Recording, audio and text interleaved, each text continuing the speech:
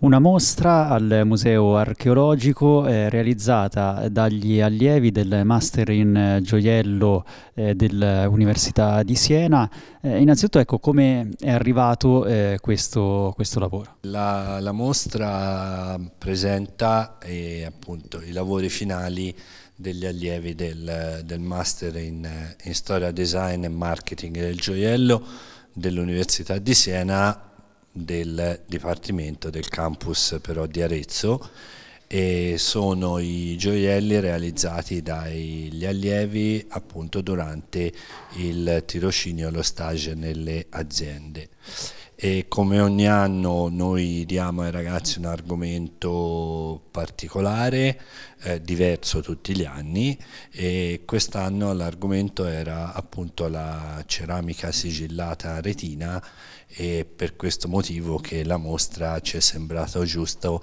appunto farla al museo archeologico perché il museo archeologico come vi dirà la direttrice ha una formidabile collezione di questa ceramica. Il Museo Archeologico di Arezzo ospita eh, questa bella mostra del, mm, del corso di eh, Master in eh, Marketing del Gioiello e eh, cosa significa per voi e eh, l'importanza ecco, di, uh, di, ospitare appunto una mostra di questo tipo. Siamo felicissimi di poter dare spazio e luce ai, alle creazioni di questi giovani e, ragazzi e ragazze che appunto hanno eh, creato gioielli traendo ispirazione dalle ceramiche antiche di epoca romana che si conservano all'interno del museo archeologico. È un modo per rendere più accogliente l'arrivo proprio l'ingresso all'interno del museo è un modo mh, appunto per esaltare anche questa felice, credo, interazione fra eh, la, la, creatività, le idee anche innovative eh, dei nostri ragazzi e invece la, la tradizione eh, mh, veramente straordinaria che ci viene dal, dal passato.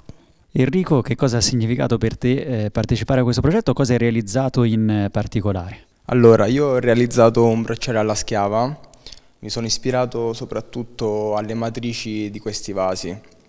Le matrici di questi vasi ovviamente non vedi quello che risulta quando vedi queste matrici. E anche io ho realizzato quindi un bracciale che solamente col riflesso della luce riesce a vedere cosa è rappresentato in superficie, che in questo caso è un'immagine ripresa da uno di questi vasi. Inoltre, oltre alle decorazioni in superficie, anche quelle all'interno sono dei trafori che sono stati ripresi da decorazioni di questi vasi.